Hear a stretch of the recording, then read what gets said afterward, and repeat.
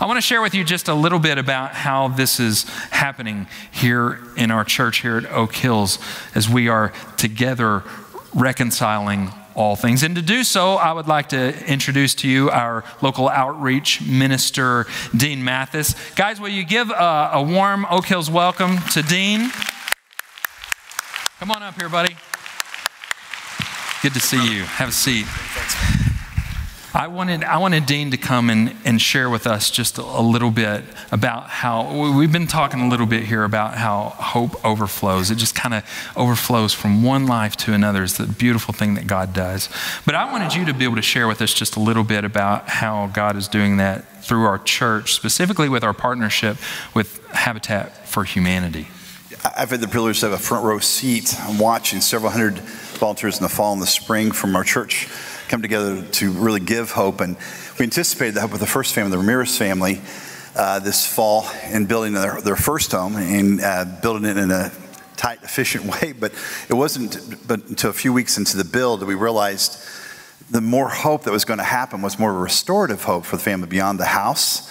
Uh, and it was kind of a surprise how it came at us. Okay, so tell, tell us more about the, the restorative hope. Tell, tell us what you. Yeah, it was about the fifth week in, in the build or so. And in that context, we usually start with a real brief devotion prayer and end the day the same way, at least with a prayer.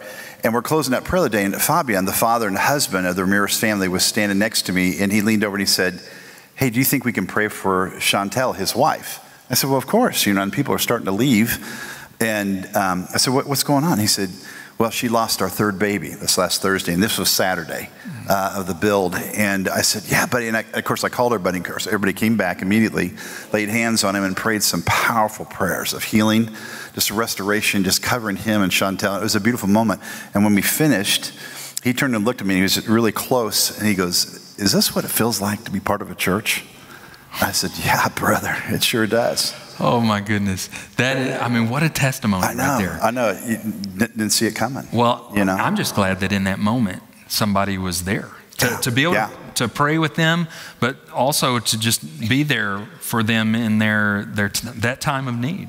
You know, it's really great. You know, men disciple men, women disciple women, and the gals who had some, had some similar experiences got Chantel's phone number, started connecting with her, sending her flowers, just building that friendship towards restoration and hope. It was beautiful to watch, and their friendship grew. And the next thing you know, I thought I was watching scenes of HGTV. They're exchanging ideas about how to decorate the house, what colors to you know to make, and you know, I thought this is amazing how these guys have really built a friendship.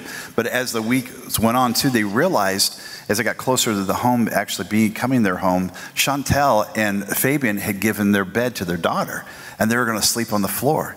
And these ladies who had struck this friendship and just been bringing a lot of hope to Chantel got money together and they bought her a bed.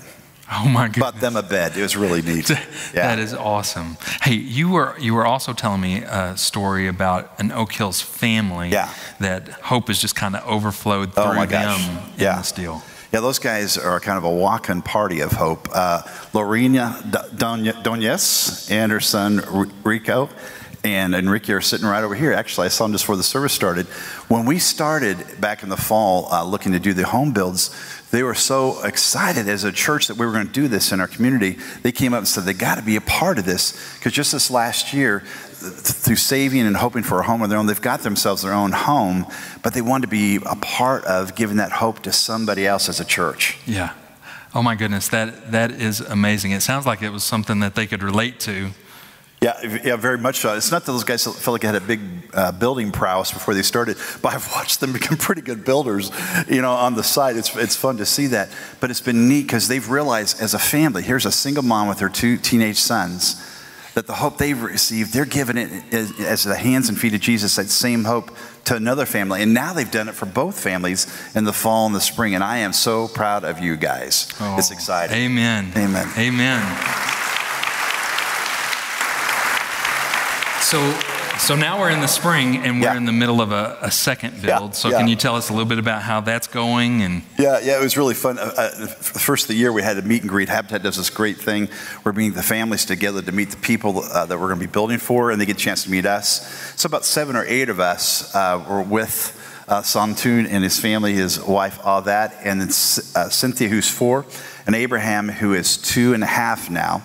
And uh, so we had a great conversation. We're doing our best. Um, there's a little bit of a language barrier. They're, they're from Yeah. Burma, the refugees from Burma, Okay. and so they were speaking Burmese, of course, and we were speaking uh, Texan English, and we were having a lot of fun. Uh, and we did a pretty good job, I think. The Kassaw is, is pretty helpful in translating. But the best conversation that happened was when we were walking away, and here comes little Abraham, who'd been quiet as a church mouse the whole night, tugging on my shirt. And, he, and he's looking, you know, up at me, and I'm looking down. Little Abraham, he'll be up here in a second with his bow tie. And he said, for the question, you, you build my family a house? And, you know, and I just looked at him, I said, yeah, buddy, we're, we're, going, we're going to build you a house. And all of a sudden, that went from a question to exclamation. He started jumping up and down and going, you build my family a house. You build my family a house. Uh, I said, we sure are. And so uh, we were ready to start building that night. But I, I'm happy to report that we're ahead of schedule. And for Abraham and his family, we'll have them in their home. Uh, I think it'll be built before Easter. Isn't that awesome? Oh my Yeah. goodness, that is awesome. You understood that, didn't you? Oh, Let's build a house. very clear. Very clear. Church, clear. we have the Sawtune family with us today. Right. Let's welcome them up to the stage.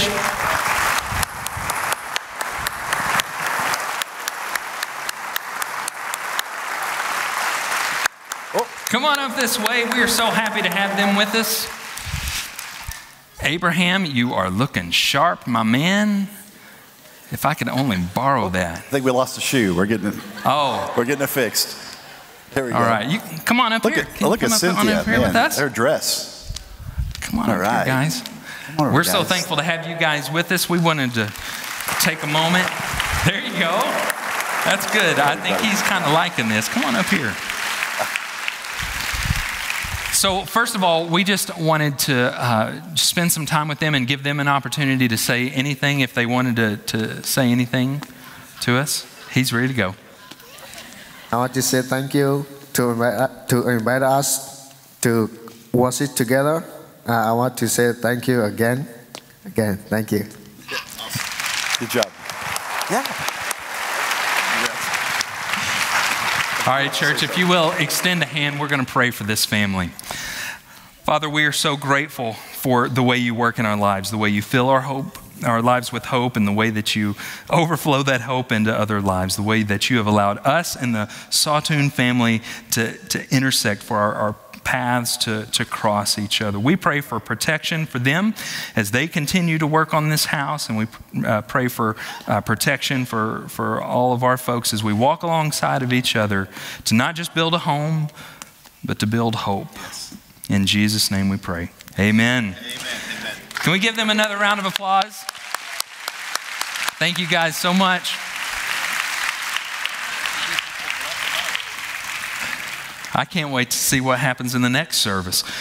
Now, uh, I really, I'm so excited about the work that God is doing in us and through us. And, and Dean uh, has done a marvelous job of, of leading us in this effort in our local outreach efforts. And it's just amazing to see how hope just keeps overflowing. We found out last week that someone just paid for the, the next build. $57,000 it costed for us and our part to, to build a home, and someone's already just paid for the home in the fall. Isn't that amazing?